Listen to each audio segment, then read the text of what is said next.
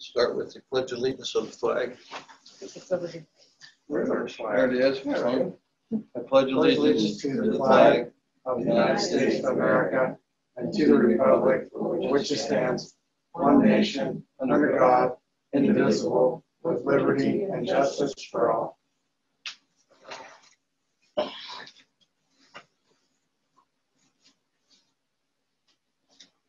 don't believe there's anyone here for public comment, but I will read this statement regarding the conduct of the meeting. Due to the COVID-19, the September PFA board meeting will be a hybrid meeting per PFA resolution 2-8, virtual for staff and the public and the board members, chief and administrative staff present at 102 Remington Street.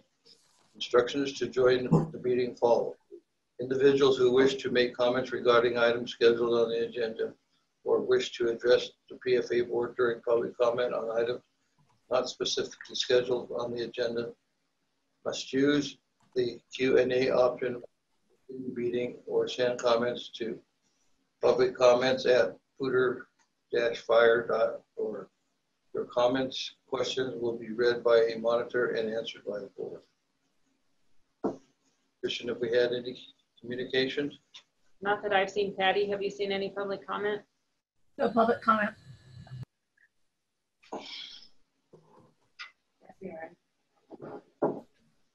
Darren joined us. Okay. Welcome, Darren. First item, discussion item would be one, the Poudre Fire Authority Board Agenda Planning Calendar. Um, have you got any comments on that? It's just, uh, kind of got it lined out is, uh, so today is by our, by our policy, uh, today is the first, uh, first report of the proposed 21 budget. So it's also, it's just a reminder, in October, uh, staff works on the feedback from the board. Uh, we come back in November with a work session on the budget, finish the budget up in December. One of the things that's not reflected on here right now, and I think that's probably going to be a timing factor uh, from our special meeting we had uh, a couple weeks ago, is the RFP for recruitment has gone out. Uh, recruitment for a new fire chief, that's gone out. Uh, that went out Friday, so it's still pretty fresh, and it, it's a three-week soaking of that in. I believe that's right. You know, let that, that bobber float for about three weeks. Uh, and uh, so what we staff will work on once we get that timeline kind of honed in, uh, and that's kind of going to depend on that recruiter. Uh, that will reflect uh, anytime the board needs to take action or meet uh, regarding that. And just a reminder, the board decided that they would be a committee of five, that the entire committee would work in the recruitment committee. And so uh, we'll be posting meetings and stuff. So we'll try to keep that caught up as we get a schedule more that. Those, those are the highlights on uh, planning calendar at this point. Will we, uh, will the board get copies of the rules and regulations uh, prior to the meeting? Yes, on the rules and reg meeting, which is, uh, That's for the October meeting? yes. Uh, And we'll, we'll, we'll plan to send that to you as a red line, so you can Yeah, see where the that'd be changes good. are. Okay. yeah, Yeah, we'll give you plenty of time. Uh, We've been, uh, on that one, we've been waiting for the ratification of contract because there are some, uh, some items that are both in the contract and in the rules and regs. And we wanted to make sure they were aligned, so we want to have ratification. That's on your consent calendar today, so then we'll bring back the rules and regs. um, So Next those, month. those rules and regs will, will include what changes that's agreed to on the union. Right.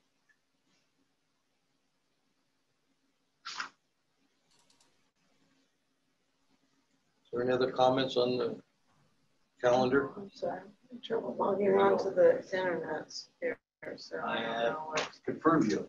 Okay, so I just want to get the, the agenda up, so I'm used to having paper and a, and a little. If you need Great. paper, Kristen, I have, I have it No, that's all right, I mean, and hopefully I can.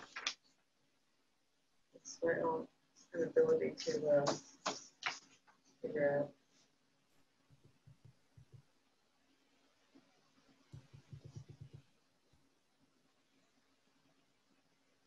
Maybe I'll take the paper. I don't- think I can't pull up the agenda and I, I'm lost without it. Thank you. You're welcome.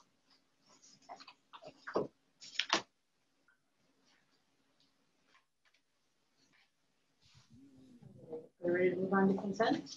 I think we need to get a approval for the agenda, of the planning calendar. On agenda. We don't need a motion, do we, or? No, we don't No, we usually, don't it's need- just for discussion. Okay, no, we don't- Yeah, I'm I'm good, Mike, let's go. All right, let's move on. then. Got the consent agenda. We have the PFA Board August 25th meetings, special board meetings. Approve and adopt a nationwide post-employee health savings plan. Approval of restated intergovernmental agreement for joint professional firefighter certification. Five ratification of the 2021 collective bargaining agreement. Is there any discussion with that, or is there a motion to accept that consent agenda? I would move to uh, approve the consent agenda. Second. Second, Mo- motion, second, all those in favor? Aye. Aye. Aye. Darren, are you there? Yes, Ken? Mike. Aye. Aye. Ken. Very good. Next item on the agenda, number six, COVID-19 response and financial impact updates. Open that up to you, Tom, and then I guess you'll put that to, uh, Yeah, so uh, as uh, we did yesterday with the district board, I turned this over to Chief Vanderbilt. Uh, Hasn't been, there's been some changes, there's been some changes statewide uh, with the, uh, with COVID. You know, the governor re-upped his uh, the 30-day mask requirement. Uh, I'll just, because I sat on that governor's panel, one of the things that came back uh, the last time we met, which was two weeks ago, uh, well, be two weeks ago this Thursday, was that there's research coming out out of uh, University of Colorado and actually from around the country that with masks, uh, they're seeing even when you're exposed, that what we've been, you know, what we've been taught is that the mask prevent us from exposing others. That still holds true, but they're finding that the mask, if someone exposes you, the, there is a reduced viral load and COVID is a very much dose-specific illness. So it does reduce the viral load, and that was one of the things that the CDPHE reported back to us, and I think that uh, something that, that uh, to share, because we are maintaining our mask policies in our stations, here we are in our meeting, uh, doing the same thing. So that's uh, one of those items that, uh, that brought back from the governor's panel. But I'm gonna turn it over to Vandy to talk about what we're doing operationally out on the line, and then we'll turn it over to Ann to talk about finances, and a few comments when we get back. Morning, everybody. Thank you. Um, just first want to say everybody is doing just a great job of, of taking care of each other, and, um, their partners, their families, and and uh, going all out and and following our procedures. So we did have just a few changes. We continue to monitor everything that's going on, and some of the changes we made were uh, people can wear some safety wear their safety glasses on EMS calls. They don't have to wear goggles on every call now. So um, the shift change, we made made changes during the summer. So that way the shift change happened out on the apparatus front pad. Um, with the inclement weather coming, we wanted to make sure we were able to do shift change uh, for the apparatus. We can do it in the bay. We're keeping our six foot distancing and and uh, just taking care of each other that way. Our firefighters are working out in the in in the stations, and again keeping six foot distancing, just making sure that uh, we're cleaning the equipment and uh, taking care of each other that way. And uh, still with station guests, we're um, not letting people come into the stations and monitoring anybody that's coming in to do maintenance and things like that. But we're still not allowing family and friends to to just stop by and visit. But other than that, people are doing a great job. Uh, no new cases with any of our firefighters, and uh, nothing else to report unless you have any questions.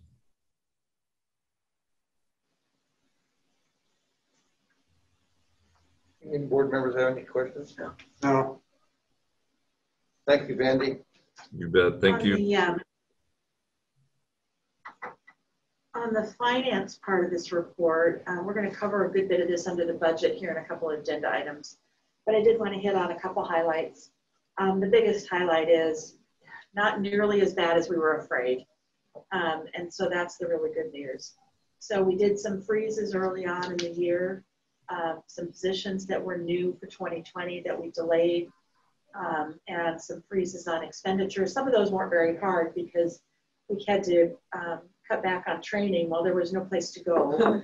no training and travel because you couldn't go anywhere. So um, that helped us save Makes some, easier. that's some significant, I mean, painful, but you know, not hard to, not hard to enforce. Um, so um, now we're reaping the benefits of those savings to balance out the budget for 2020, which is going to be a little bit behind because of uh, revenue from the district coming in a little bit behind. Um, for 2021, we're, um, I, guess the theme here again is not nearly as bad as it could have been. Um, and so um, as we go through the 2021 budget, you'll see um, a flat budget, and flat is good. Flat is feeling very good for 2021. Um, when we were considering that we could be down uh, in the millions of dollars at one point.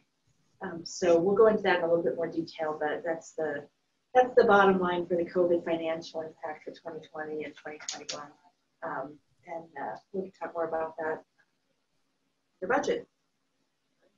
And I, I will add uh, to the, some of the things that we're looking at freeing up, um, we'll talk- about the budget, but things that the board appropriated for 2020, we're freeing some of those up. We've had, uh, we've gone ahead, we've hired uh, our, our fourth mechanic, and we, we are moving ahead with uh, plans for Station 6, uh, which was appropriated. We saw we could get through 2020 uh, without having to earmark that money toward our operations as well as Station 7. There's some other uh, things that we're looking at freeing up as well that were frozen in that budget. But Station 7, we're moving forward, starting to begin some charrettes and, and uh, getting the, the, architectural design of what's going to be probably a pretty unique station because of the size of the, the, the lot. So uh, those things we're, we, we feel really good, uh, comfortable financially to open those things up that we had budgeted to, to continue those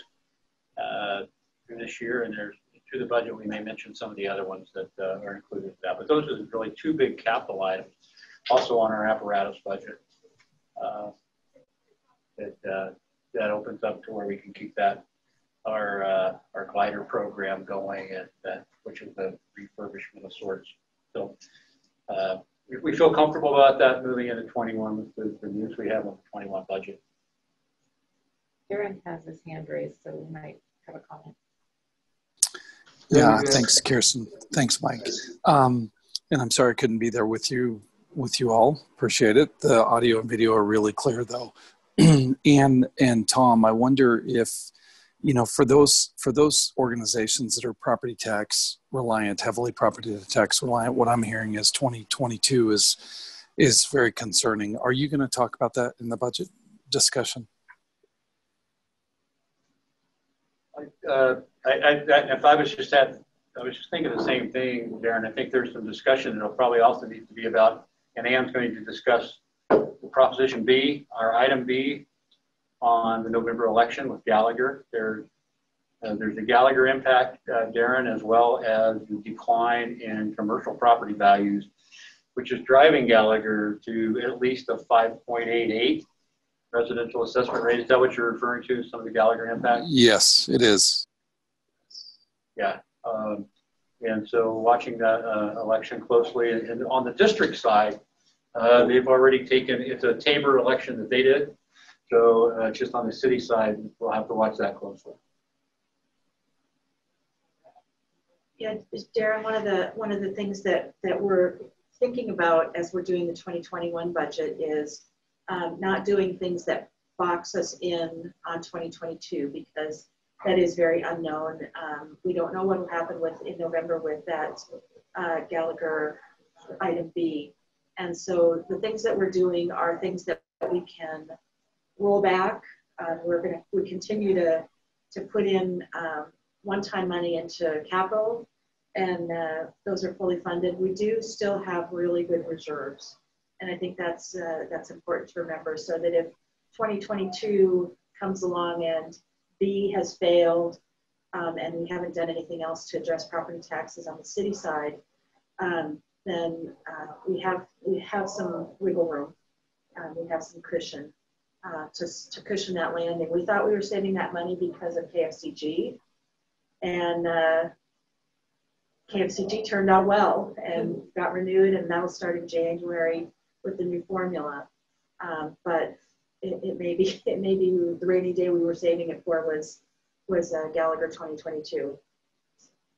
COVID-19.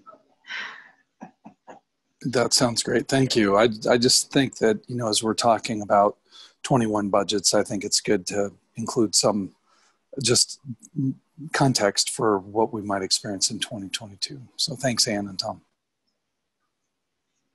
Aaron, go go ahead. Um, about the, you said we hired the fourth mechanic, is that right? Yes. And so, um, knowing that some of that was, we were doing that because we had other, um, fire departments and authorities that were wanting to use that service, is that, are we still finding that, um, to be the case that we're getting that business for? Yes, we, we have, uh, we had uh, our legal staff craft an IGA with, uh, with Windsor Severance. Uh, in fact, anytime you drop in, they usually have one of their pieces of apparatus out there. So uh, we've started that and uh, working with, we have, we've done some work for Wellington already, just more formalizing that, Wellington. Uh, we've also had interest expressed around Front Range Fire, which is Johnstown, as well as Laramie District 2, which is the northwest side of Cheyenne around uh, uh, Warren Air Force Base. Uh, have, so uh, Brad is working, wanting, wanting to make sure that we don't overfill that to where, our, you know, our, our apparatus is still number one. That's the, the front line, uh, the front line effort out there. So uh, it, it's underway, but we also have, you know, get those, that place remodeled. Uh, one of the things that we also talk about is the combination of the, Bureau of Safety position. And we've had that discussion with this board since, oh, for many years actually about getting a position that can help with our facilities and the construction stuff. And uh, in, in, an interim, we haven't uh, filled the position permanently yet, but in the interim, Captain Mark Hettinger is working in that capacity. He has a construction background and he's been in there about six weeks and we can demonstrate he's already saved us $300,000 just with his construction knowledge. And so he's looking at things at Station 6 that first we were just going to add two bays out to the west end. We're looking at other options that there could be in that same budget ways to use the, the, the, the space we have now and build bays for uh, response out of there. They're closer to the day room, closer to the, the, the bunk rooms uh, to get us to improve our response times even a little bit more. So uh, he's, he's really taken that, uh, that bull by the horns and doing a, a great job in that. So uh, yeah, we've got the fourth mechanic and we're excited about where that's going to go. Excellent. Hey, since we brought that up, sorry, it's not a little tangent, but somewhere in the budget, I think it was an unfunded uh, priorities or something, we had shown that we were going to build a building out at the training center and hire a mechanic and do stuff out there. I'm assuming that's off the table now. Yeah, well, the, that, yeah, uh, we, we had that plan uh, nine years ago. Yeah, yeah. uh, and that But was, it, that was it under was still on a list there for. you know, Yeah, we kept it on the list for a while, but we've stood that down. Uh, Okay. And part of standing that down, uh, uh, staff board member, was the fact that we could redo Sure. Station Six. We still have, there, there could be long-range plans for storage space, but as we add new stations, you know, we get a bay here, a bay there, where we can store some of our apparatus, but uh, we want to make sure that we've got a good warm place to keep our, our, our reserve apparatus. And as we grow, the amount of reserve apparatus we have has to grow along with that. So when something's broken down, we can get into it. Darren, this is, uh, this is Mike. I was going to ask you is, uh, is the city still, uh, going to pursue the annexation of the, uh, Mulberry corridor in 2021? Um, Mike, we are, w- COVID put a six month hiatus on the Mulberry um, analysis just because the first part of it was so heavy outreach. Um, uh, I, we have a project team that's going to be continuing their work, um, but admittedly, it's been significantly slowed down. Um, I I can't imagine, Mike, there would be any mulberry annexations in 2021. I think the planning work will be done, the financial, you know, um, estimates, the relationships with the various governmental entities. That work is all going to need to be done, which I think will occur in 2021. But I don't I don't foresee any annexations occurring in that in that um, in that time frame. So I guess, Ann, when we look at our revenue stream, we could consider that funding is still available. Stable. Thank, thanks, Dan, Darren. Yep. Have Any other questions regarding, uh, still on the uh, COVID nineteen, aren't we? Yeah, yeah, we- and I just wanted to, because those things have been frozen, they kind of Yeah. cross pollinate a little bit with the budget, but there's things in 2020 that we were able to free up and and go ahead and get those, funds. Really excited about Station Seven. Uh, I'll come back and see that, that, that thing when it's done because it's, uh, been there a long time and it was, uh, back in those days, it was strictly low bid. Yep. And so, uh, and it's gonna be, have to be pretty creative. It'll probably be a two station, or two-story station to fit on the footprint, uh, get the, the crew all in there and stuff, so. And the other thing that I have asked is that we make sure it has a community room that we've done in all our other stations, because that is, that is a gathering point for the community of, of the board, so. Are you gonna bring back some designs that we get to take a look at, or? Yeah, we- we go through that. Our- We'll probably start, Mike, though, is with charrettes with the firefighters that are out there, with the architects, but what do they need, what's going to make them, uh, what, what's the efficiencies and stuff. Uh, They have, uh, some of the crews out there have expressed, uh, making sure that we have the bay space for, we've got a boat out there now, uh, that is our, for, uh, a river rescue, but also, uh, a boater on it, use it on Horsetooth. And we're thinking in the future of Glade, uh, they will have the south end of Glade. Uh, and, you know, Livermore will have the top end and, and we'll have the, the south end. So, thinking of those things in the future and, looking at, uh, fifty years, we'll be in that for sure, uh, before we probably even remodel it. So, it's a long time investment. Very good. Is there any other questions regarding COVID nineteen? Mike, I, before you go to the budget, can I just back up to the collective bargaining agreement? Absolutely. Uh, and just one minor point, we're showing that Kristen's gonna sign that. I guess it ought to be you. I'm sure we can change that. Yeah. You know, we finished these contract negotiations in Yeah, June, May, June. Right. So um, I think we can fix that before you, we have, uh, we have it I'm sure. signed. Thank you, David. We can Yeah. always count on you. to Yeah, Come right. up with those. Pay attention to the Proofread. details. Sorry. Okay, with that, let's move on to uh, discussion item number seven, uh, discussion of the 2021 preliminary budget. Well, it's, it's, this is not a very, uh, I'm gonna turn this over to Ann and Kirsten here real quick, but this is not a real elaborate budget, uh, because as Ann said, we're flat to maybe a little bit pink. Uh, we're not red like we thought we would be. Uh, So staying flat, uh, we've, we've got uh, no raises coming to any of our employees for the year. We, we do have increases in some of that total compensation on the pension side, death and disability side, insurance side. So I'll let Ann discuss that and lead that discussion. And Ann, take it away. All right. So the first thing we want to talk about is the revised 2020 budget. Um, We aren't going to be asking for any action on this at this point, though we may come back to you before the end of the year if we need to do any reappropriation. Right now, we're going to do what we need to do within the context of the existing appropriations and moving money around. Um, But if we have to make any changes for 2020, we'll be, we'll be back. Um, so as I mentioned before, we, we have a, a slight decrease in, in, uh, revenue from the district for 2020.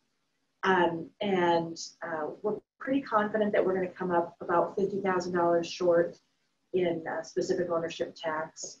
Um, those, uh, that's based on vehicle sales uh, in the county, and those just have been um, behind all year uh, since March. And so we don't believe we're gonna, that's gonna catch up. So we're confident that. The other piece of the revenue shortfall in, in 2020 from the district is in property tax collections. And as of August, we're about $200,000 short of, of that.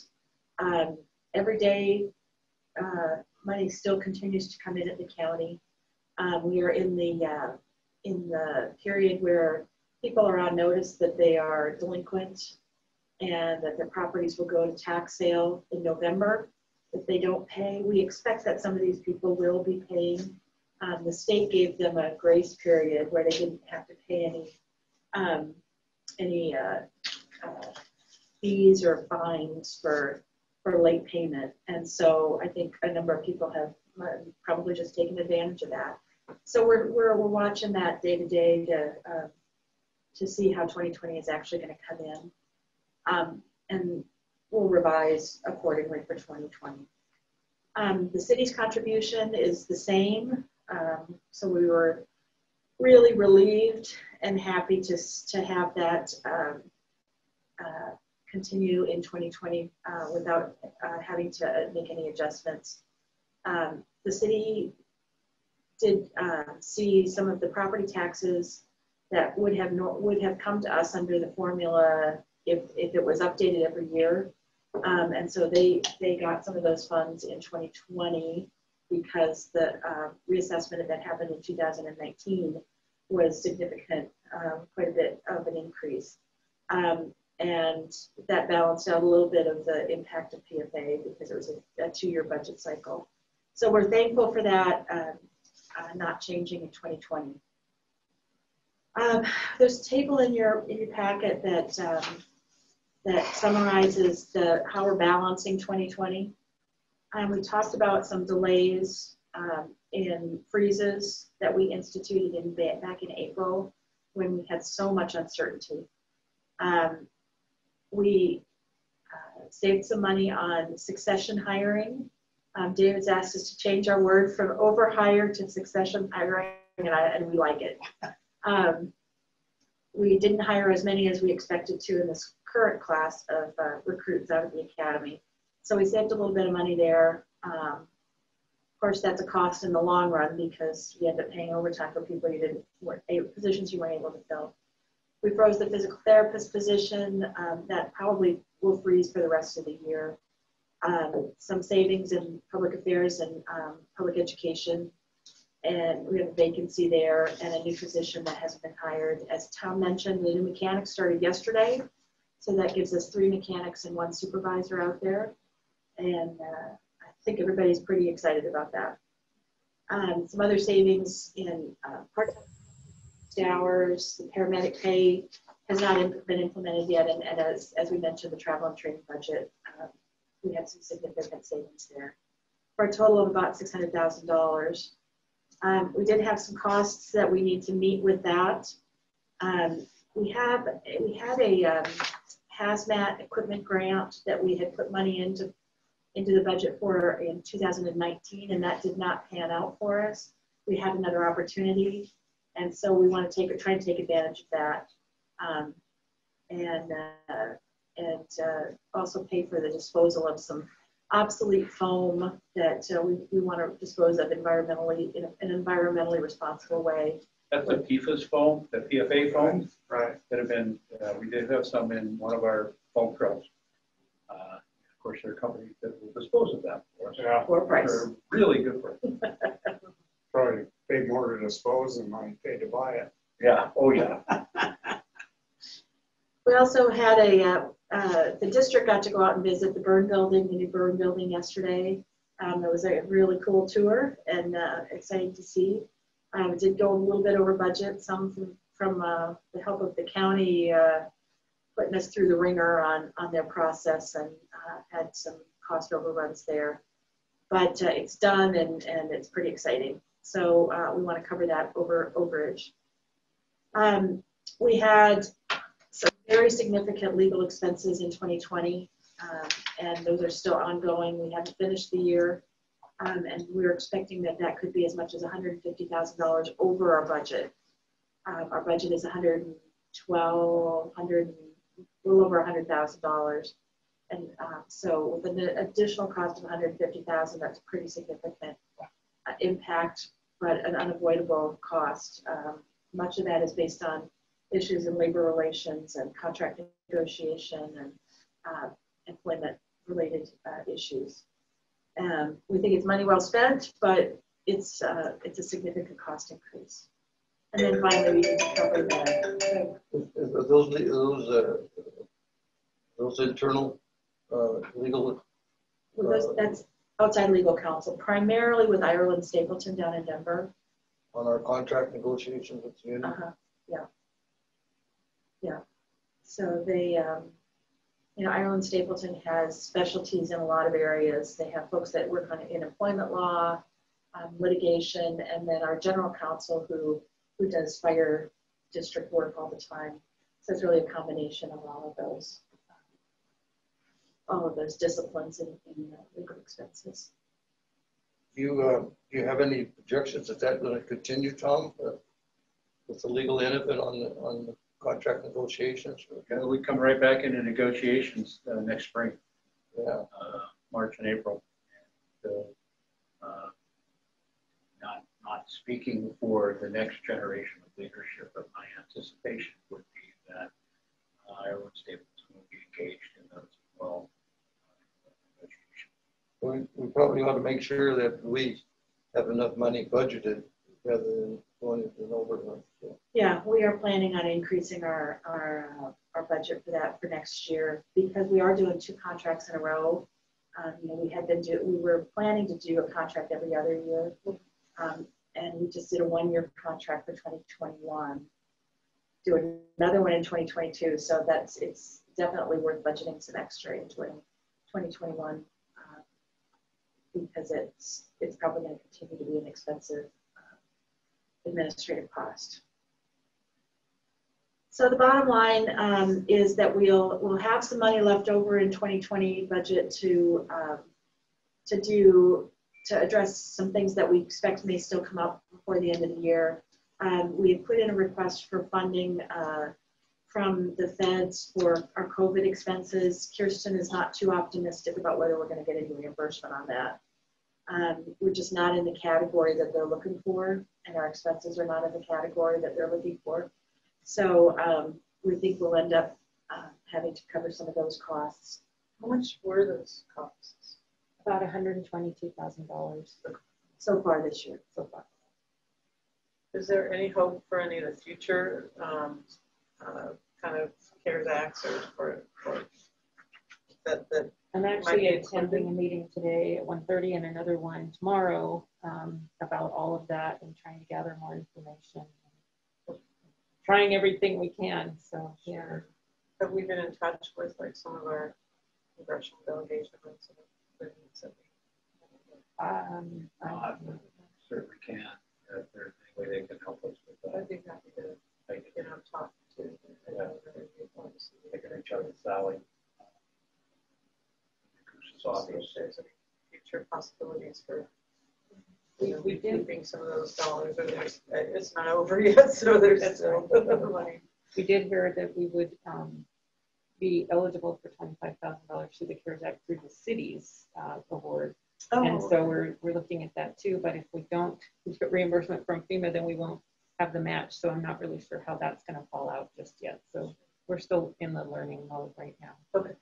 Yeah, and I'll, I just not to, I, I've been disappointed with each round of, of aid that's came from, the fire service that's come out of all the acts so far from Congress. We, we've asked for a lot, but this is, uh, obviously, especially in municipal departments, it's having a, a big impact on firefighter staffing, um, because of, you know, the decreased revenue. And now we- we're starting to learn, we're starting to see revenue recover, get a little bit better handle on that, but, uh, as we, the, the new grant, uh, the grant period is opening up for stuff, not for, for staffing, but for stuff. And I've asked staff to take a look at what our needs are, to see if there's anything we can do. Uh, and qualify, we've had a hard time in the last ten years qualifying for anything in the grant world. So, uh, but uh, anticipating maybe another another aid package that uh, the fire service, the, the International Association of Chiefs, and International Association of Firefighters are right there in Congress trying to get the, the appropriate funding in there to, to maintain our staffing nationwide and to, to keep our capital funds. Or, again, in the municipal side, their sales tax reliant. Uh, there's been some pretty big impact across the country. So, uh, it's had an impact on us as well. So, uh, but I appreciate that. I'll, I'll, I'll give Sally a shout and see if there's anything they can do. I'll get her hooked up with Kirsten. Okay, great. Uh, Darren had a, a comment too.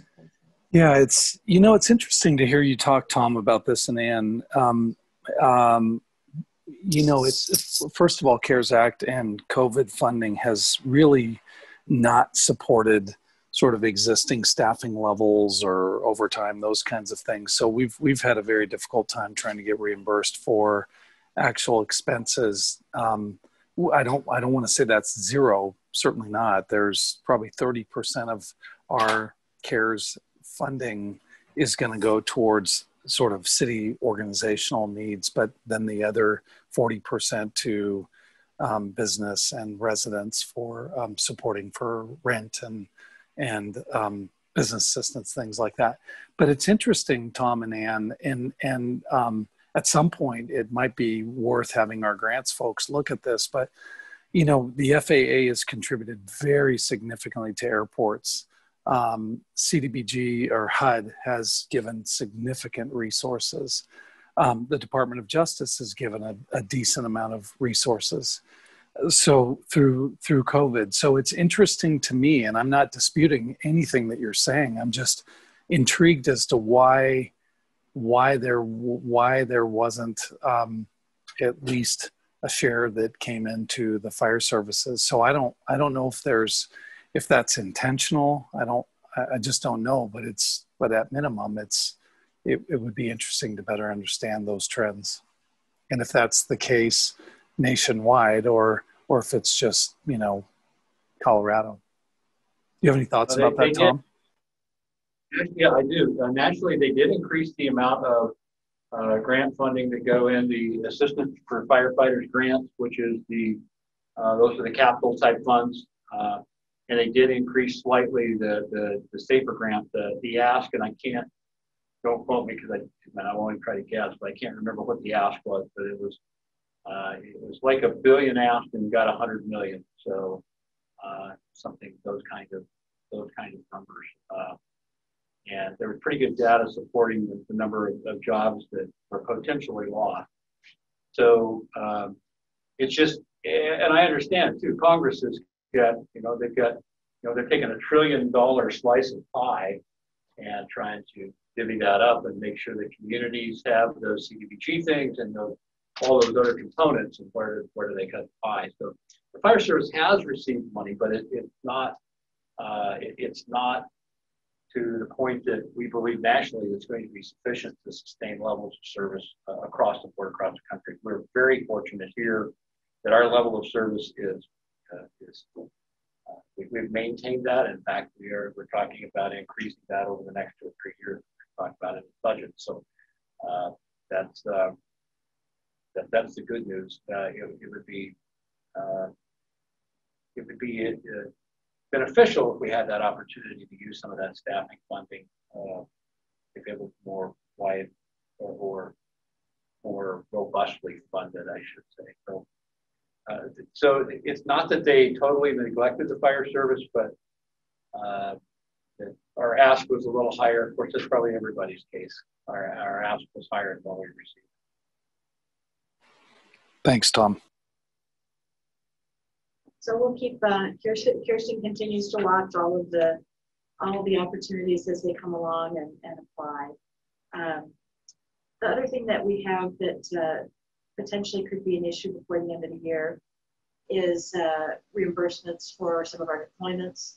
You know, we have firefighters up on the Cameron Peak Fire. Um, we've had them on other places, and um, we had the USAR deployment down to the hurricane. Um, those funds probably will not arrive back to us in 2020. Um, And so we want to plan it, plan accordingly for that and.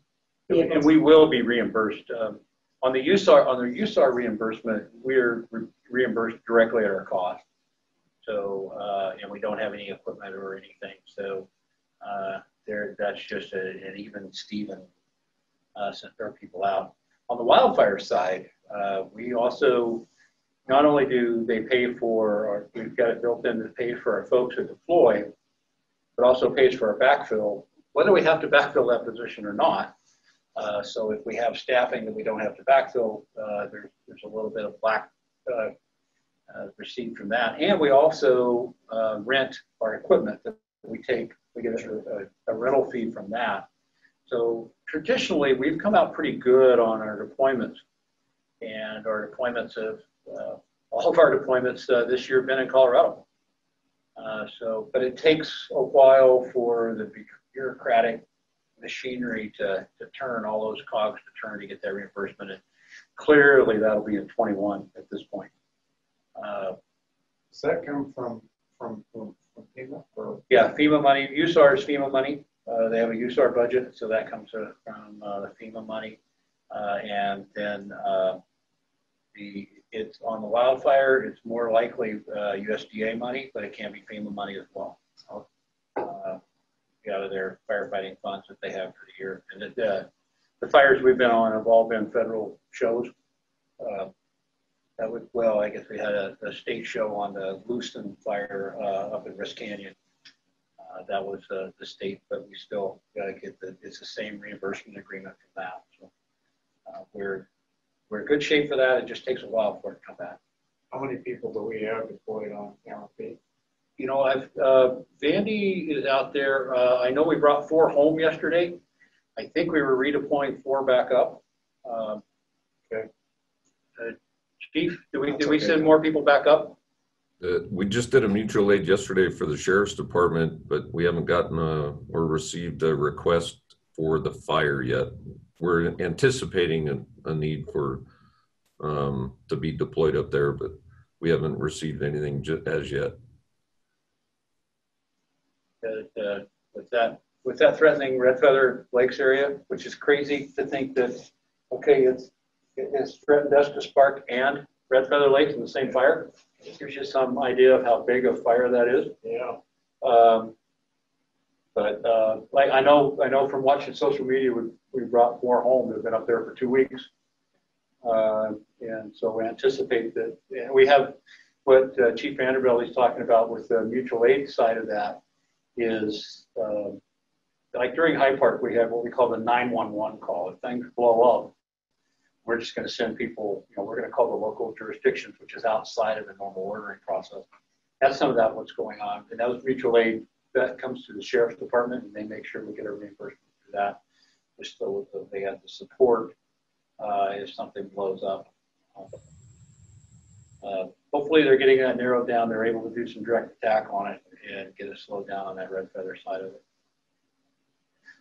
But back to budget. Well, you know, it's just amazing, uh, the activity that goes on in these operations. Out there at the training center yesterday with all the helicopters, all the Yeah. efforts that our people are making, you know, it's just amazing that, uh, what, what the staffs do on those. Yeah, for, for our city members, the district board met at training yesterday and we did a little tour of the burn building and just uh, uh, on the other side of our, our training center, was 10 helicopters coming in and out uh, on the fire. So that helibase operations uh, are, are ran there. And also, they've been running the DC-10. Uh, they, they call it the VLAT, the very large air tanker. Uh, they got it, uh, a few trips on that. And I can't remember how much it is for each time it drops, but it's a lot of money. Uh, yeah, because it drops a lot of story. But finally, this is in, and there's been some some questions and criticisms about the that they weren't fighting this fire aggressively enough, and it just was not in terrain and a fuel type where those aircraft could fly. And it was hot, windy, and now it's now finally the fire has gone into a place where uh, the, the incident management team is comfortable with what they call direct attack, meaning they're right up against the fire trying to build fire line and, and stop it. Uh, putting it out, that's going to be Mother Nature that's going to finally put it out when she starts snowing. it. So. but they're, they're getting, a- they're getting some direct attack on it. So that's kind of an update there.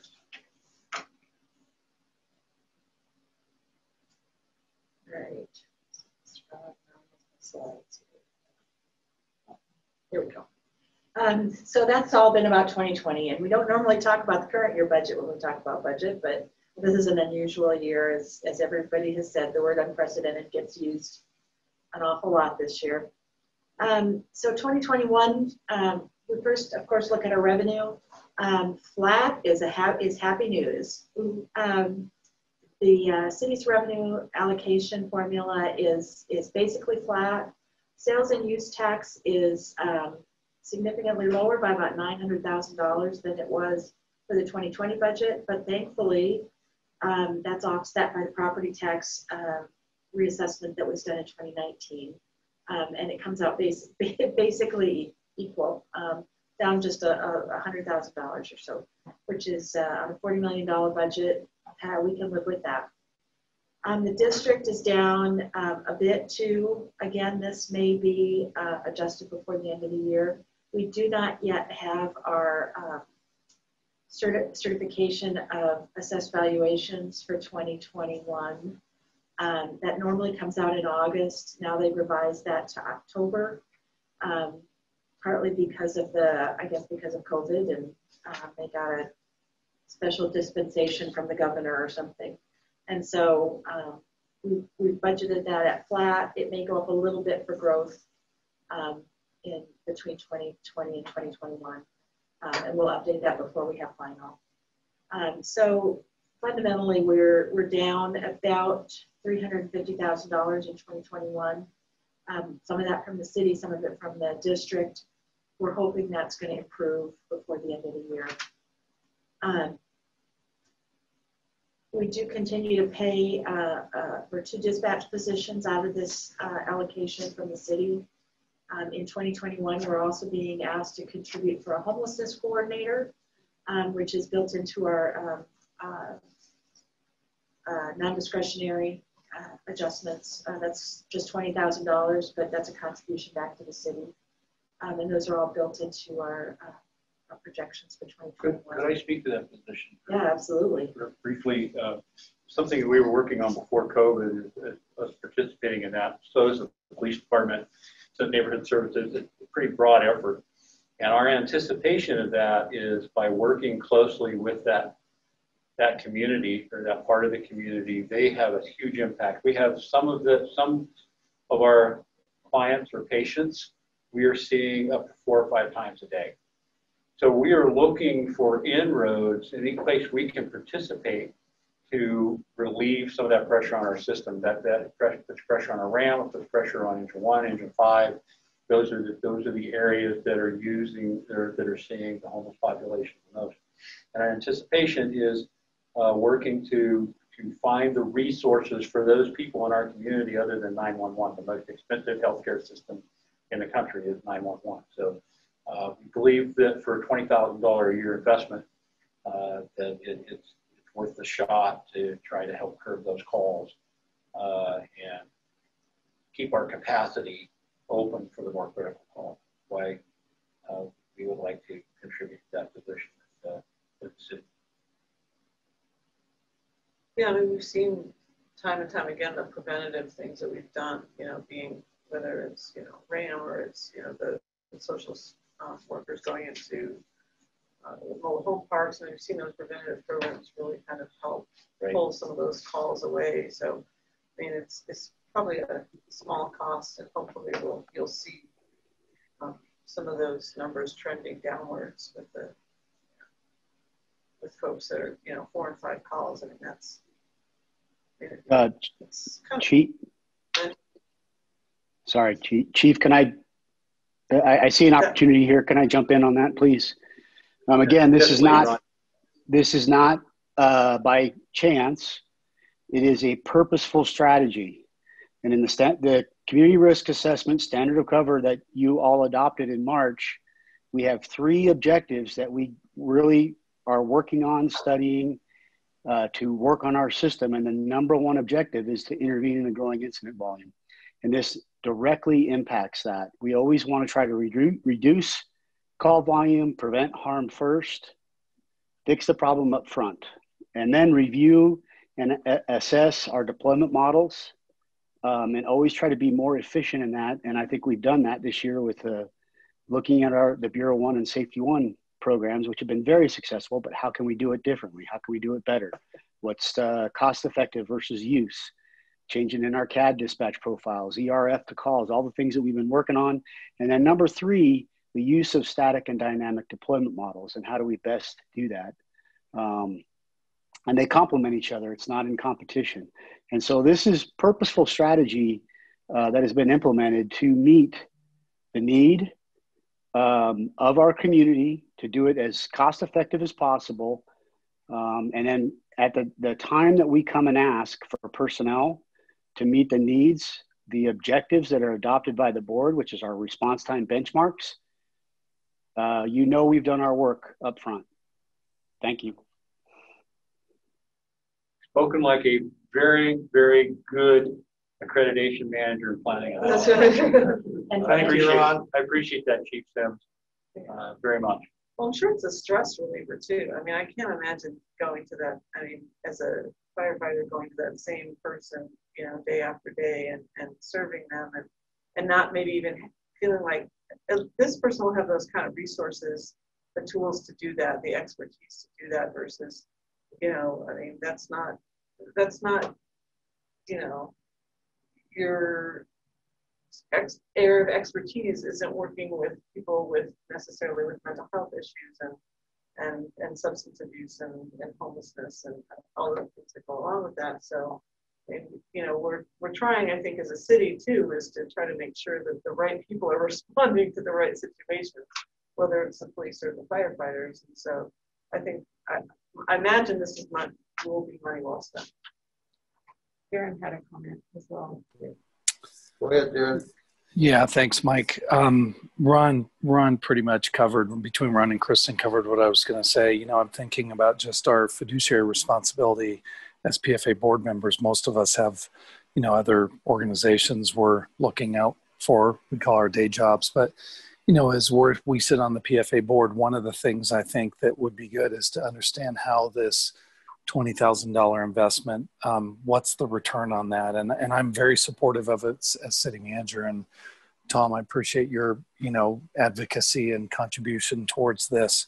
Um, the police chief as well. We're taking funding from police services to help fund this homeless services coordinator position, and also adding money to Outreach Fort Collins to help um, have more resources on on that end. But you know, I think I think Ron addressed uh, kind of in concept what I was hoping to hear, and that is that how will we measure um, the effectiveness, the value of this twenty thousand dollar investment, and um, call volume is one.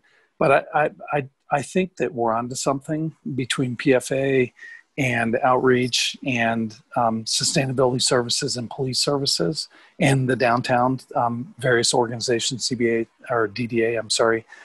It, it, it'd be good to just kind of keep an eye on and, and maybe maybe you know um, coming into next spring um, report have have the homeless services coordinator come in and report to the pfa board so we have some visibility greater visibility into this and then also watch the metrics so that that's what I had to share. But I'm I I really um, I really appreciate this kind of this kind of partnership. And for David, Dave and um, Mike, you know, we're not we're not just saying, hey, fund a new position. What we're doing is actually trying to take from various different parts of this big budget and um, and with without having a detrimental impact on those budgets, but but adding this this uh, this um, and not even a pro- new program. It's investing in in work that we've already been doing. Uh, uh, Dar- Chief, can I can I weigh in on that again? Thank you, Darren. That was awesome. But can I? I, I have an idea. Please. So, uh, Assistant Chief John Fine, who's over patrol, works very closely with uh, our Operations Chief uh, Rick Vandervelde and uh, EMS Battalion Chief Kevin Waters, and, and we have been doing this work with dispatch as well as with uh, uh, PD on, you know, how do we impact each other's work? Because uh, we call for them, they call for us, and, and this is part of that whole intervene to that growing incident volume. Who responds to these issues, and how do we how do we do it? And I think this is an excellent opportunity with this position, uh, Darren and, and, and Chief DeMint, is to is to actually create a, a working group uh, with planning and analysis, EMS, uh, Chief Vandervelde, Patrol, uh, the homeless coordinator, uh, and even some of the data folks uh, that we have out of planning, our GIS coordinator, data analyst, and maybe comparable on the on the PD side, so we can sit down and we can actually collaborate on what what what are each of us working on, looking at, what are we what are we moving towards, and then we can actually push strategic objectives uh, to the the chief officers and through the board and the city council, so that we can it's all coordinated instead of multiple people working in different areas. So I, uh, Darren, I think that's a, a wonderful opportunity, really. Should uh, the ambulance Thanks, service also, But that, should the ambulance service also be involved in this? I, I don't know, and I would, I would defer to Darren to see if the ambulance service is involved in helping fund that. The ambulance service is involved with the police department, with the community paramedic and the, uh, the, the co-responder program that goes out with uh, the police department on a lot of these calls. And I'm not, I'm not familiar with that, them being involved in the funding. I'm not sure. if they are. Yeah, I would agree, Tom. I, I, I'm, I don't think UC Health is. They are, they are helping fund other various programs related to this, this topic. Um, I'll, I'll confirm, but I'm, I'm about 95% sure that there's no UC Health funding on this one. I think Chief I'll- Waters I would be. Yeah. I think Chief, Chief Waters would be an awesome one to weigh in on that on on the who and the what on the UC Health side, being that we are the uh, authority having jurisdiction for EMS. Well, I was thinking more, rather than funding, I was thinking more of the team you were talking about, Ron. UC Health might be a part of that. Yeah, and that's why uh, Chief Waters is very. Uh, I can't speak to it. I'm sure he's on the call here today, but very intimately familiar with uh, UC Health's programs, uh, how we're collaborating on the EMS side as well as with police, and he he's uh, working in those meetings with Patrol and uh, Chief Vandervelde uh, right now, and, and and they're they're doing all kinds of things, looking at the im- impacts of state laws. And, Uh, so I, I I just I think by the nature of the role, the authority that we have as as uh, the AHJ, that Chief Waters would would be would just what he would weigh in on that and, and work with UC Health. Sure. Okay. Thanks. Good morning. I'm here, and I don't know specifically if uh, UCH is contributing to funding for this position, but uh, UCH is working collaboratively with us in this space on a variety of other initiatives. Um, but I'm not I'm not certain if they're specifically funding this position.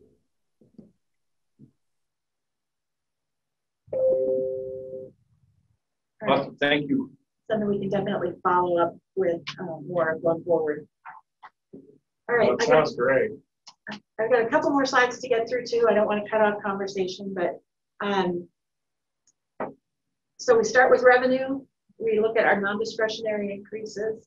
And in 2020, 2021, that is not going to include salary adjustments. So that's usually our biggest ticket item for our non-discretionary increases.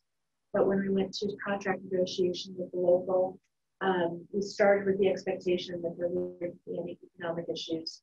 Um, we had certainly a lot more uncertainty at that point. We were concerned about whether we were going to have to cut positions before the end of the year. That didn't come to fruition. Um, but there clearly is not money um, in the budget for raises, um, and that's not unusual.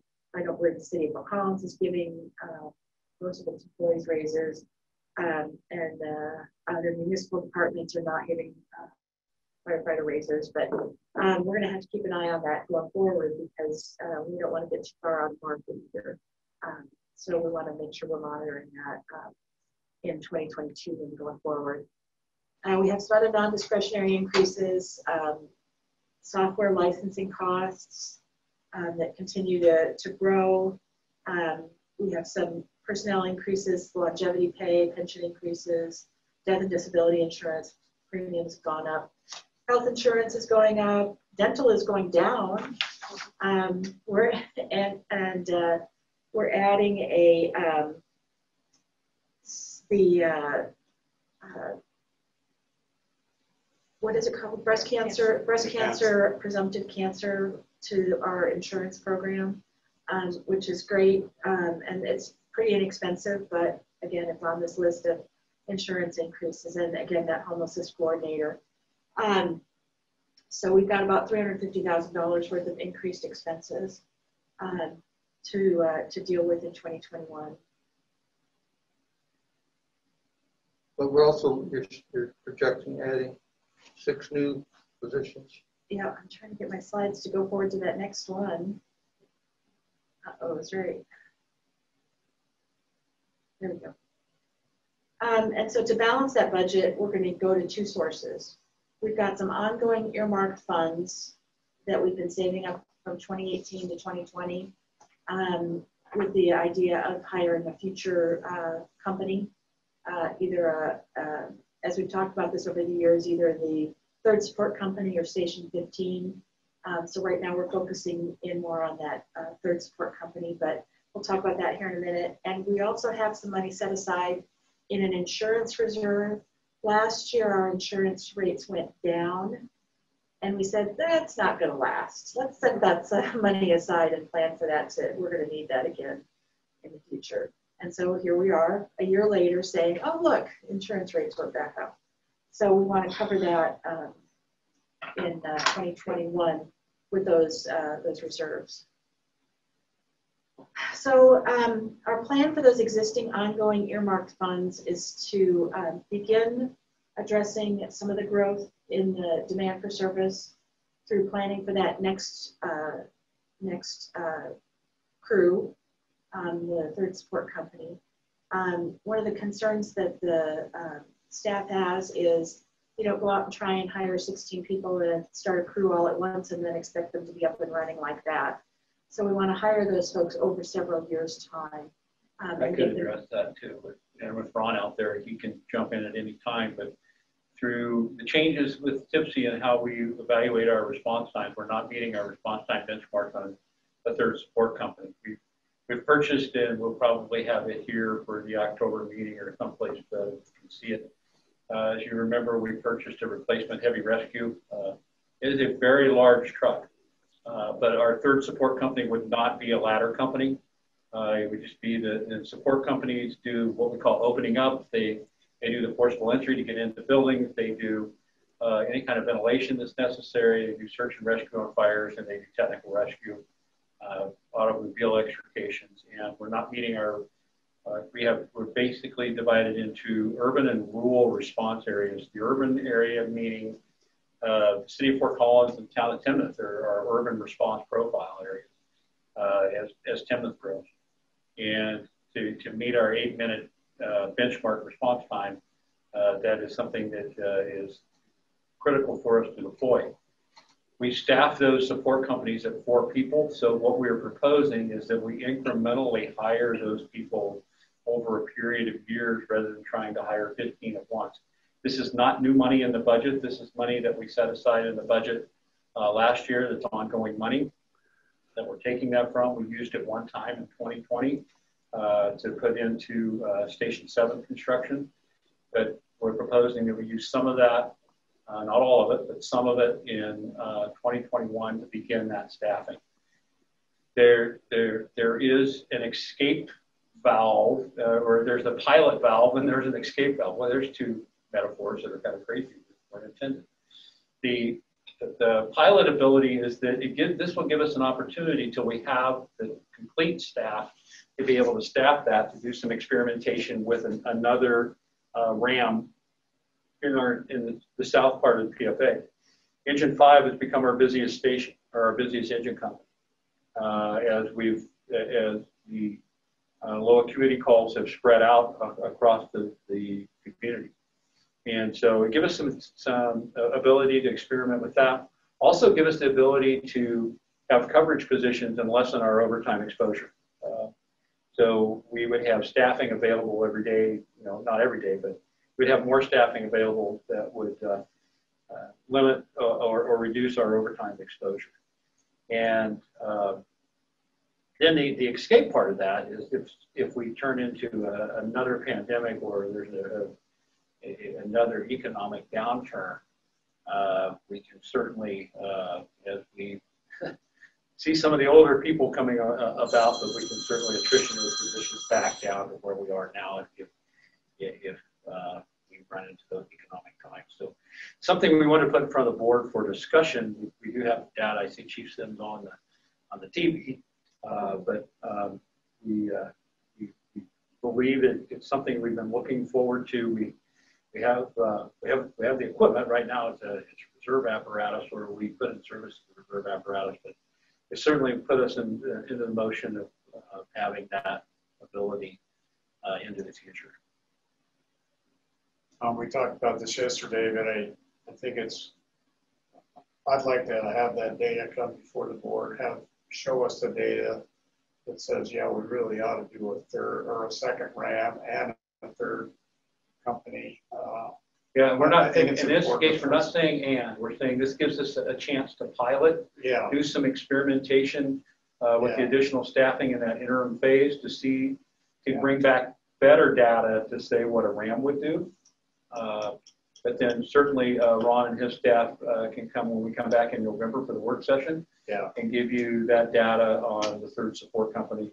Uh, we wanted to really get that out to you at this at this point though, because with COVID and with restrictions of other people's budgets and stuff, there, there's an optical thing there that you know we're hiring new positions. But this is money that we've been setting on for several budgets two or three budget cycles building that toward, we didn't know if it was going to be an additional support company or a station in Montava or a station in Timnath at like County Road 5 in Mulberry. We know those two stations are coming, but they're probably more longer range down in the in the future. So, uh, but the support company, as the community grows, uh, it would probably uh, what what uh, Ron tells me is through our GIS studies, and I also see that Laura Robinson is on the call, but through our GIS studies, it would probably be station to station four, which would give us our coverage and, and start allowing us to meet our benchmark on response time. That, that's what driving that on the data side. So we definitely can bring that back in November. Well, uh, Chief, I, I have a couple questions. I, I, uh, we performed a staff analysis in this board packet. Um, there are maps definitively showing drive time issues in the southwest portion of our jurisdiction. You have performance maps and predictive analytic maps that show the improvement in response time compliance in the southwest portion of the jurisdiction.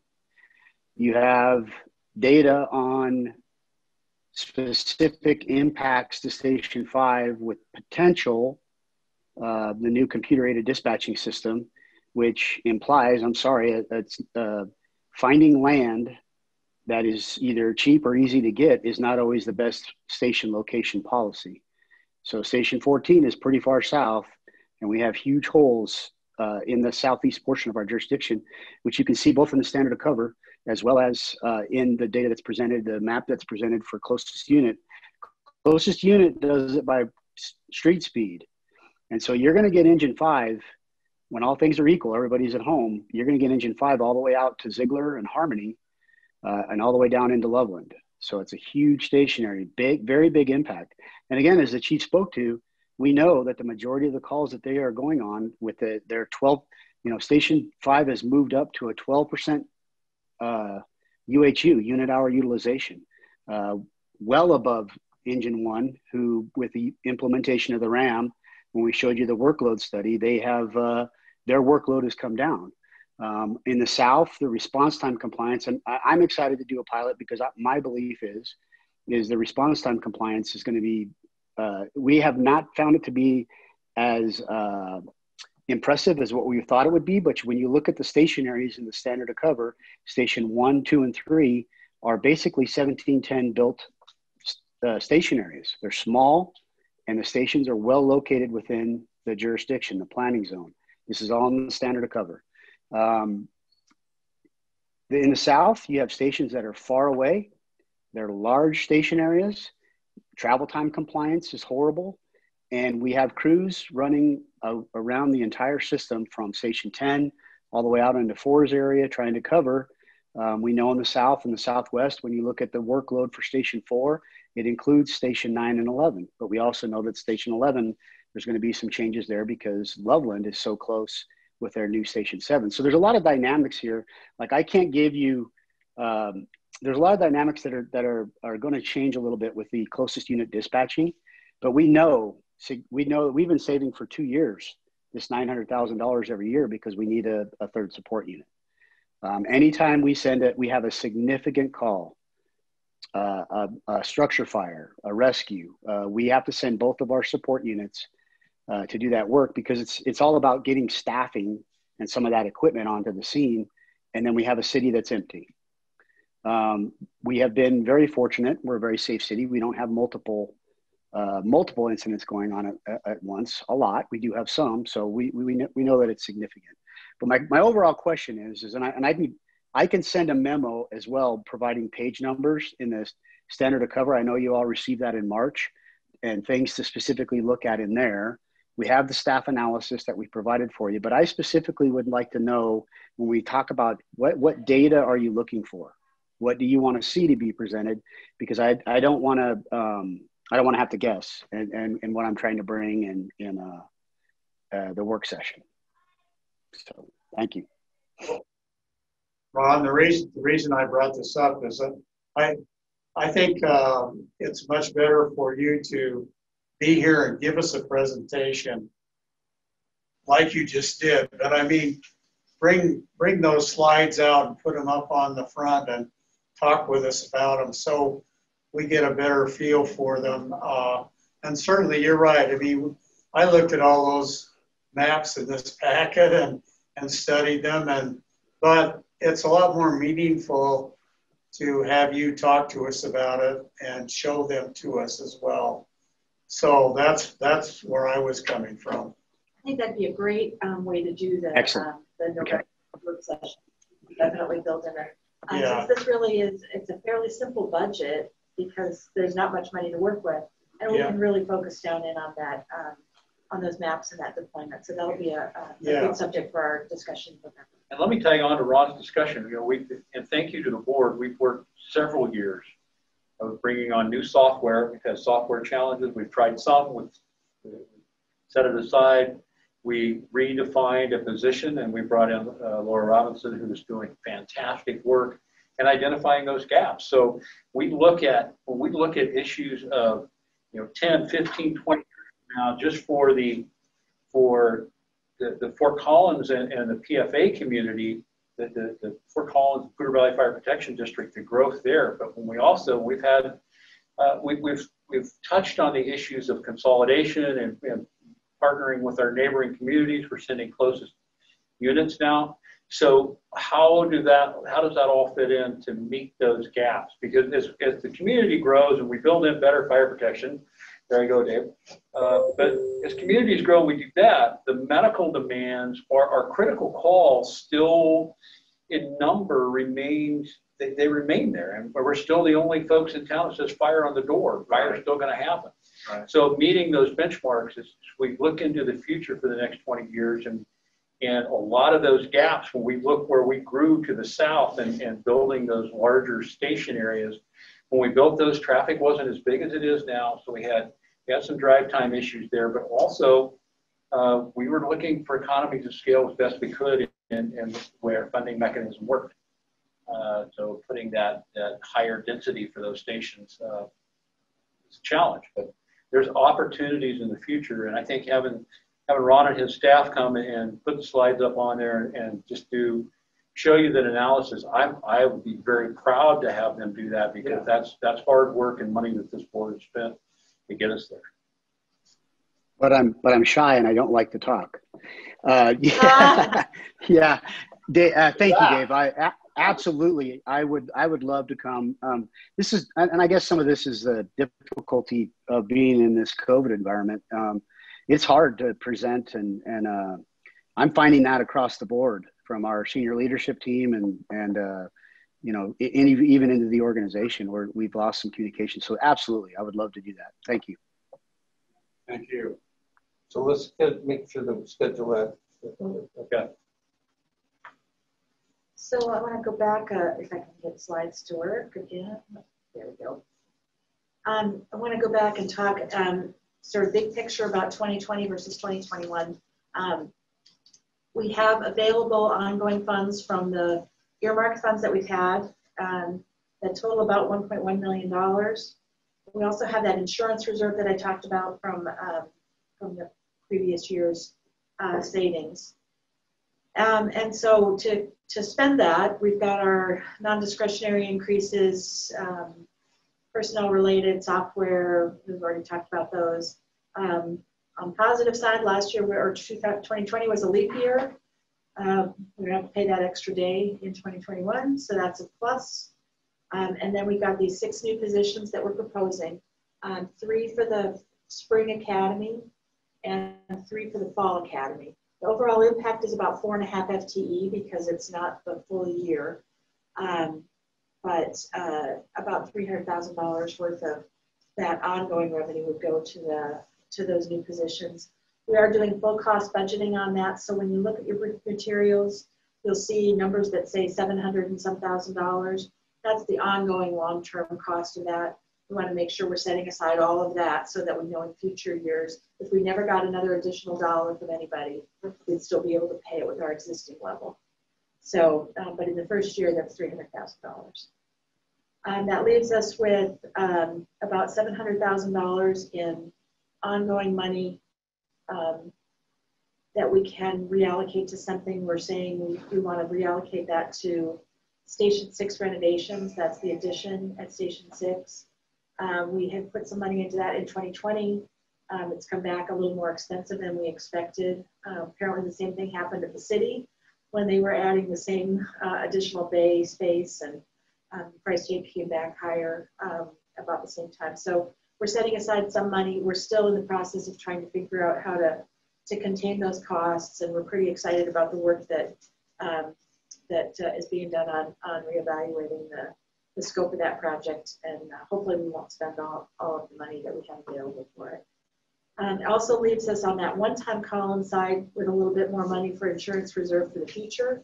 Um, we are concerned about, we don't have our workers' comp and our property and liability insurance uh, um, bills for 2021 yet. We don't have our, our cost estimates yet. We should have those in the next few weeks, uh, but we'll have that before final.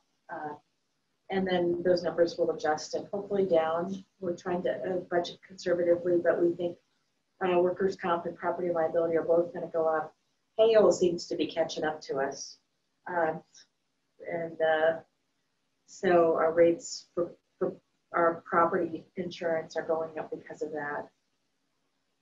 Um, we already talked about this hiring the future crew and we'll bring back um, a presentation about that in the November meeting. Um, and just finally, we want to talk about um, how we're spending some of our capital funds. Um, as Tom mentioned earlier, Station 7 is back up and running. That project had been frozen earlier in the year because of the uncertainty and uh, we didn't take, we never took any money away from it. And so we uh, are now back in the planning process and um, hope to know more still in 2020 with construction perhaps in 21 and 22. Uh, burn building, that was ready to uh, close the deal um, before, the, before this all started. So um, we hope we can get back. Oh, I'm sorry, burn building is done. We have to pay for that. Station six is uh, back at, uh, in the process and hopefully we can uh, um, close the deal on that one and get construction started in 2021, uh, early part of 2021. We do have some unknowns. We always do at this preliminary uh, budget. Uh, the, the county has not given us our certification of assessed valuations for the district, and really they haven't given them for the city either. So um, uh, there may be some adjustments there um, on the assessed valuations. And um, we're gonna we're gonna continue to monitor that property tax payments and uh, for 2020 and uh, see how we come out. That may be a good predictor for us about 2021 and whether people are just unable to pay. And some of those properties are going to go to tilt tax lien sale. We'll uh, we'll be watching that. Um, again, our workers' comp rates, we don't know, our property and liability, we don't know. Um, we don't know that final cost estimate for station six and, uh, FPPA costs. We had those conversations, uh, that two years ago now when they, uh, FPPA changed our rates. That's gonna come to fruition in 2021 or begin to. And what the final cost on that is still something we're working out. Um, And who, how many people that impacts and by how much. So we'll, we'll have that wrapped up by November. Um, so we've already talked about some of these questions. Does the board support the use of the, using those incremental, those earmarked funds for this incremental hiring process? Um, does the board support the idea of adding a RAM unit in 2021 um, in that interim spot? And um, do you have any concerns about using our insurance reserves for ongoing insurance costs because those are one-time reserves? Because that's going to catch up to us in the long run, but hopefully in a, in a better year. So those are some of the things that, that if you have any concerns or direction before the, the uh, work session, we'd sure like to hear those or anything else. Well, yeah, that there, there's one more appropriation for 2020 that we need to discuss on the OEM side. Yeah, For the EOC. Oh, yeah. Uh, So for uh, one of the, there's an opportunity for the city, uh, and Darren can, can add to this for the things I missed. I was contacted by uh, Jim Byrne. Uh, If you remember, we uh, transferred the, the operations of emergency management to the city, and it's working out phenomenally. Uh, Lieutenant Byrne is doing a fantastic job. Uh, His his first year, he's been challenged with things like COVID and uh, a fire that's impacting the city's uh, watershed significantly, and a few other things. Uh, One of the things they've looked for, though, is a, is a new EOC. Currently, they use our uh, training division. We have a room that's dedicated to that at our first training building out there, and it limits our use of that building, uh, or that room at least. And uh, uh, Darren has worked with Jim to identify some space in the city's footprint. Uh, That would be uh, something that we would propose that the board could appropriate, out- appropriate out of reserve funds uh, in this current year. Uh, This is something that need to be, there's some CARES Act money that would be as, as far as, and, and some police money as well to, uh, to fund that. So uh, we'll, we'll be bringing that proposal back in October uh, that we do that, but I didn't want that to be a surprise. I don't know if Darren has any comments on it, but it gives the opportunity to put the EOC or any uh, downtown footprint, which um, puts it close to all of- our operations, the city's operations, but also when we, we come out of our mask and start having our street festivals and all the stuff that happens downtown again, that gives us coordination of the law enforcement, medical, and fire components of those, of those calls, the management or those, those events, uh, right in the heart of it. So uh, it, it very, it would see a lot more use of what we're seeing out there. And it would free up classroom space that we have out there and give us a, a some more flexibility in our current capital footprint uh, without having to add additional square feet. Um, I can't remember what the ask was on that. We just heard about this one. The house is 100,000. 100,000. Darren has his hand up, so. Yes, uh, thanks, Tom. I, I wasn't planning on saying anything, but I, I think it's um, a solid uh, change. I mean, obviously, I'm supportive of it, and we're looking to leverage CARES funding if we can um, through this. So I think, all in all, it's a good move. And and Tom, I appreciate your comments about Jim and his leadership. I'm I'm in full agreement. I think he's done an amazing job in a in a very very complex first year. But um, and I'll I'll be sure that that I share that feedback to Tom. But yeah, I think this is a I think this is a good investment. It's a good leverage opportunity, and and um, uh, it's good work. And I'd like to ask, with respect to question one, does the board support beginning use of earmarked funds? What is your thoughts on if we, if we go ahead and do that, how do we, what's the plans to replenish those funds as they down? Well, it's, um, the reason that we've been saving them, uh, well, we've been spending them each year as if they were one-time money on capital projects. but we've been saving them in terms of that, that uh, increase in ongoing revenue for this kind of purpose. So in a sense, they're not really going to be replaced. We hope to get more um, in future years to fill out that crew that we're expecting um, to, to need in 2023, perhaps. Um, and so um, I, I, think this is exactly what we've been planning on using it for, um, ongoing, and we've been using it short term for one-time costs, and it's been a it's been a help to us because we could really catch up on a lot of our capital needs um, by using those one-time those ongoing funds as if they were one-time um, capital funds. Um, I think it's it's a, a, a calculated expenditure too because if we don't, if we have a flat budget for three years to come, or whatever it might be, um, we don't have to, we can use those positions other ways. Um, we can use them to, to attrition other positions, or um, I think it's a, a flexible uh, way to spend the money. Uh, because we're not absolutely committed on that third support company until we have enough money to actually go all of the spots. This would just, it's just a start at it.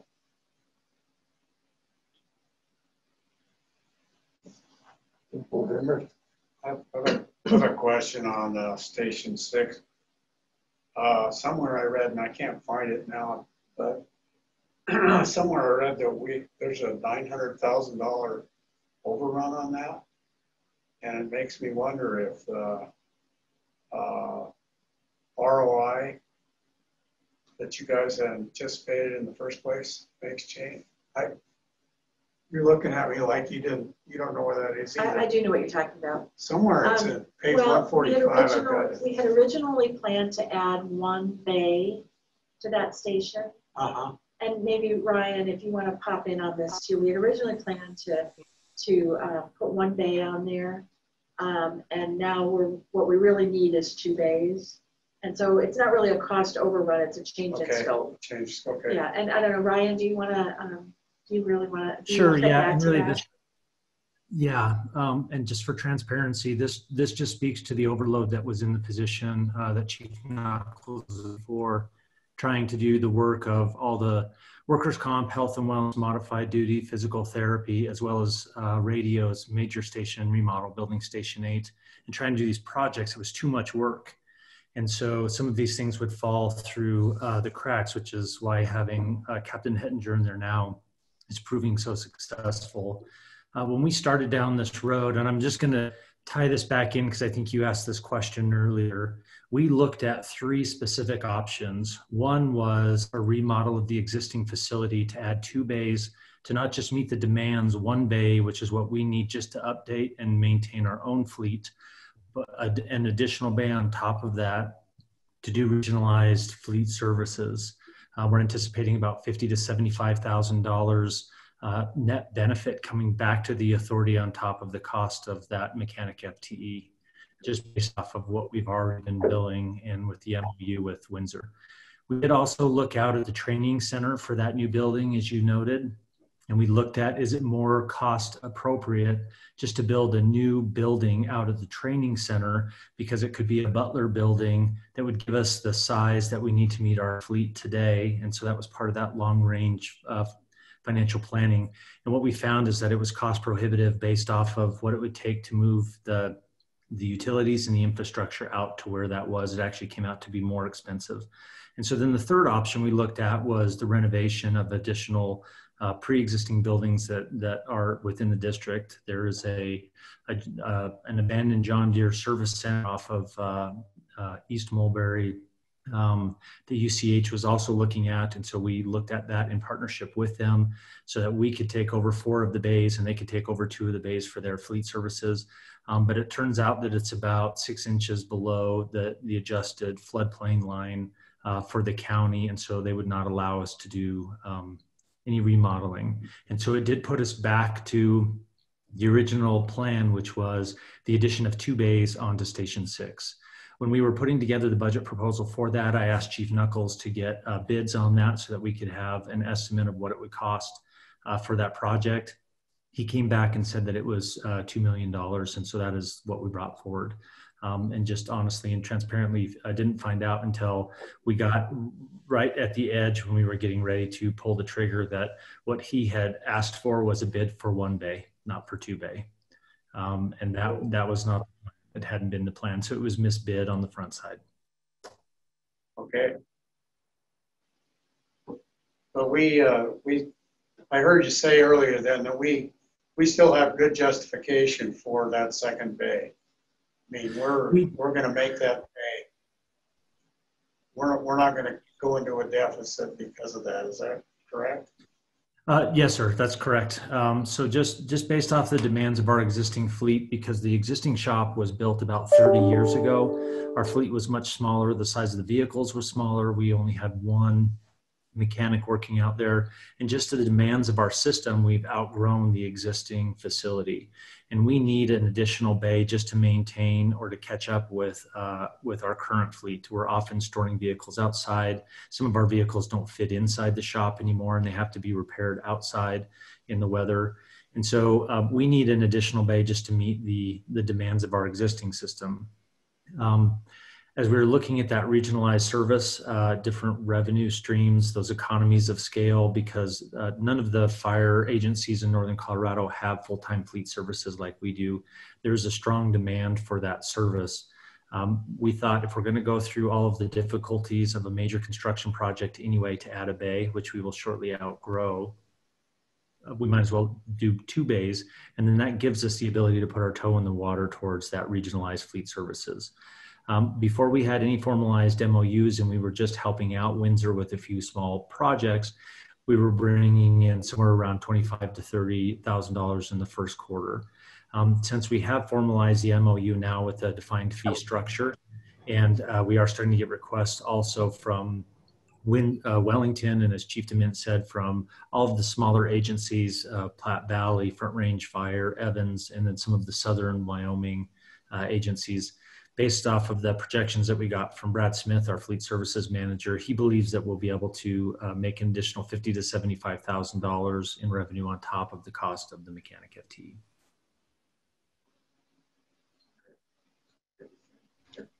Okay, thank you. Yes, sir. Anything else uh, from the board? I just want to say this.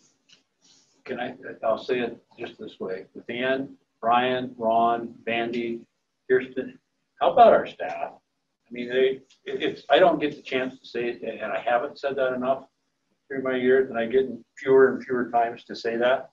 But how about our staff? I mean, they work their, their, their keisters off to, to bring the, you this budget and to, know, on top of things, the data, the reasons why.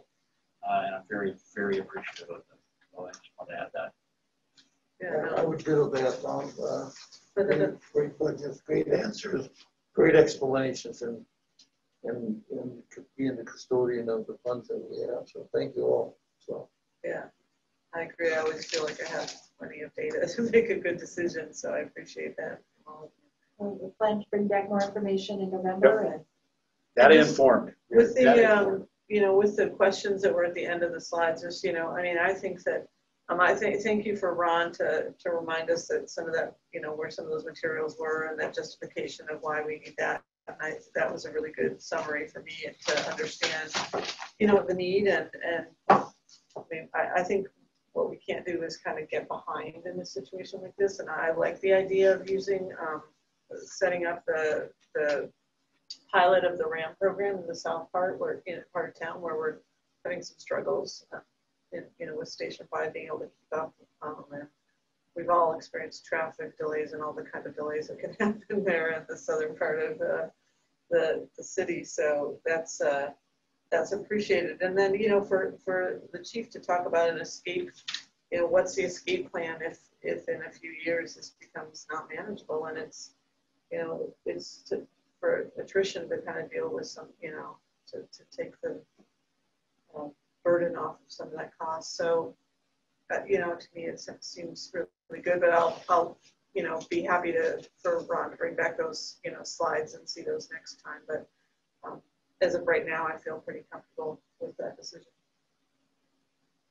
I think, you know, one of the messages Ron wants everybody to get out of what he's saying is, um, that's why we keep trying things Sure. And, uh, and adapting, and there isn't one right answer that we know, oh, if only we did this.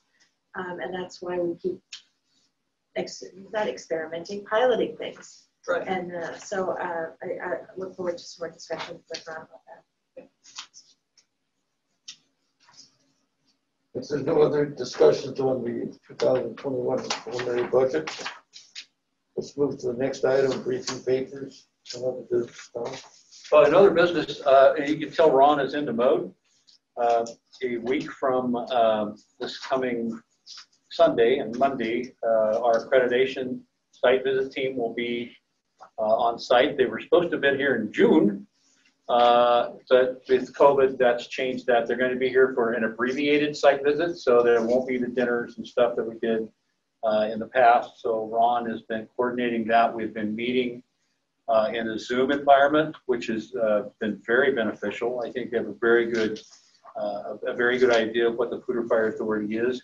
I'm going to let Ron touch on that for ju- just a minute, but they are they're recognizing some best practices that they want to pass on to uh, CFAI. So, uh, Ron, can you, can you touch on that on the visit? Give us some of the details of, of that and, and some of the things that you've been received so far. Uh, yes, sir. Um, we uh, thank you very much. yeah, we we uh, we've been doing this. This is probably the longest accreditation process ever, and there's really good things about it, and not so good things about it. But uh, you know, it's not as intense as I think the first process that we went through. Where, and I and being a peer assessor, if somebody goes out and evaluates other departments, you know, you really have a lot of quick work to do. It's really fast and and maybe not um, as comprehensible as it can be. Uh, this one's been longer. We've done some good Zooms. Uh, we have, uh, we're going to get some great recommendations in some areas that we know that we've, that actually we've already started implementing and, and uh, some of them are going to come in that health and safety environment. Chief DeBar's done a great job of sharing what, what we've been doing, but uh, um, we're going to get some great recommendations for this whole thing. Um, the, the peer team's been very busy as well. We've had a, a couple other folks that, um, you know they're they're evaluating us and and uh, but they've been super busy too with hurricanes back east and COVID and all the stuff that they've been doing.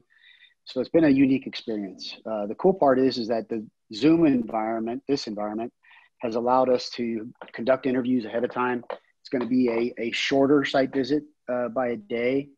Um, we're we're developing a video, an introduction video for uh, the peer team, and I think it's actually and working with uh, Annie Bierbauer and, and Haley Spurrier, and we're going to bring in Laura to this too. I think it's actually going to be a wonderful video for our community and for the boards, and um, because it's really going to it's it's going to be a, a, just a great snapshot of what PFA is, what we do. Excited about that. Um, you know, and then they'll come in. I, we were already trying to schedule some meetings with uh, the board chair and uh, um, they'll meet meet with uh, several other people, finish their interviews, and write up their their synopsis. And we think in March maybe we'll we'll be uh, hopefully uh, be in front of the commission and uh, working on our final accreditation. So it's moving forward. Um, going to get more intense here over the next couple weeks, but uh, it's been a it's been a great process. And and like the chief said, um, they've been very impressed with many, many, many of our programs. Um, and they've actually, to the point where they've said, we're probably not going to be able to give all the best practices that we see to the commission. Um, and along with that, you know, the pride of that, there is the humility of we have areas that we do need to work on, and those are going to be pointed out as well. So, uh, great process. And it, it, the other thing I, highlight is if you hear Ron's language and the language of staff, we're learning about standard of cover, and it's a continuous learning and continuous improvement process. And it is having an impact where we can come back and say, this is third support company, not because it feels good and, and we need it and we bought a truck, but we've got to put some people in it. it it's, it's about you know, this is what the community needs and this is what's driving it and, and being able to look into the future and project into the future what our needs are. So uh, that's, that was, I think that was all of our dreams when we we entered into this accreditation process is that how can we help it to drive continuous improvement? And it's good. And, and chief, and chief, they don't tell us, they don't tell us what to do. They look to the board to, and to the staff, this, you know, just like our process. Uh, staff makes recommendations to you and then the board adopts. And when uh, our team lead has asked us, you know, we, we've had some several difficult questions and then they say, well, that's, you know, on certain things, and I can't off the top of my head, I, I can't drop it right now, but, but uh, they, you know, they say, as long as your board of directors your community, your government, you know, if you're checking in, if they're if they are good with what you guys are doing, that's what they want to see. They don't come in and mandate that we do uh, anything in our organization other than than really that we have a good sound process to meet the the bare the core competencies or the things that we should be doing as a credible fire department. So um, I like that too because uh, outside entities aren't or an outside entity isn't coming in to our community and saying uh, you need to do this. Um, our board of our board of directors does that.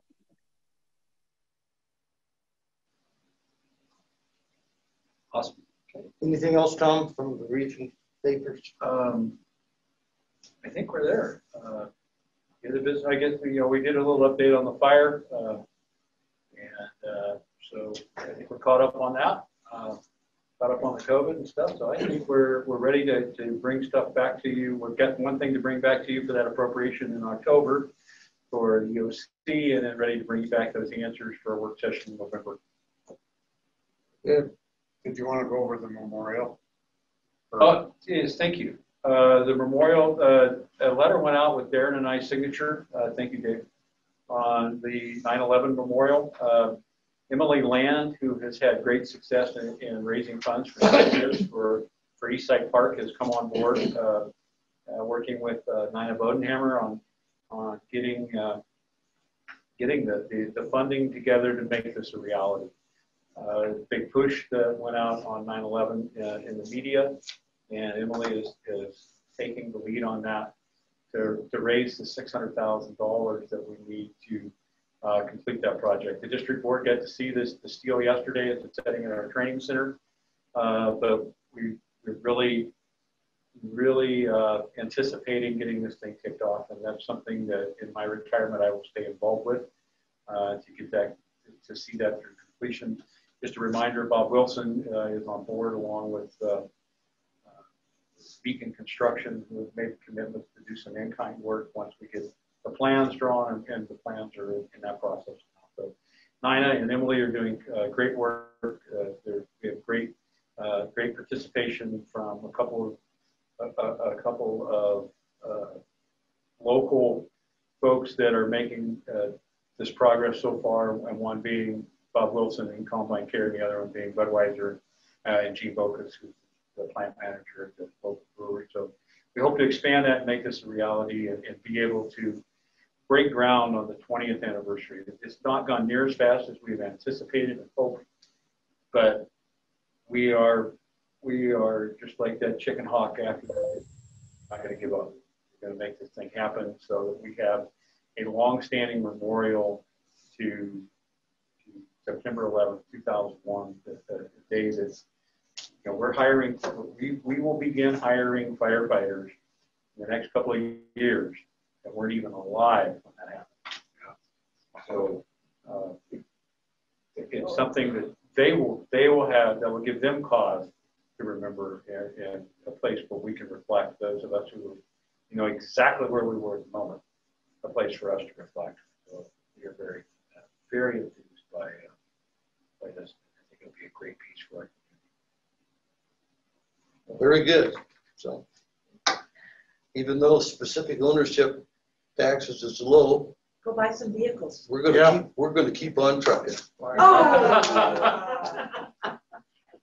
Um, So can I um, make a comment about the, the executive search too, since that is kind of stuck on the end? Absolutely, Okay. please do that. Um, I think that we're gonna probably need to schedule a special meeting in October um, to do those interviews. And I assume that we'll try and get everybody. Um, but what we talked about the last time was if we couldn't get everybody, we were gonna go ahead anyway. Yep. And I assume that that's still true. Yep. But we'll do our best to, to make sure we can get everybody um, meeting those, uh, meeting those search firms. Do you all have a preference about whether we do that in person or on Zoom? Um, The reason I ask is because it would be much quicker to schedule, um, to do Zoom because um, we don't have to fit into their travel schedules and whatnot and get them out here or a short list out here. But, um, but I, I, I'd, I'd take your, your feedback on that. Well, it makes sense to me to get people out here, especially if they're just. I, I think, I personally think Zoom would be better, but This is to interview the search firms. So I interview the search firm, I would, I'm okay doing it in Yeah. person, but I think I, I also be okay doing it in Zoom. And I think that would be a lot more efficient. yeah, it seems like. And, uh, I, I, I don't feel that way about the chief. I think we really ought to have some in-person interviews there. But, uh, for this thing, I, I would, I would be comfortable with Zoom. You mean when you get down to your finalists? Well, when, when we get down, I'm, ta- she's Yeah. talking about the search firm right now. Yeah, yeah, yeah. With the search firm. I would- Candidates will be a different thing. Yeah, Yeah, candidates. I'm good either way. Okay, all right, um, Darren, Yeah, um, I I agree. I think search firm as soon as possible, remote interviews, perfectly fine. In fact, probably preferable. where's Ken? Did he? did he he's still on pop here. off?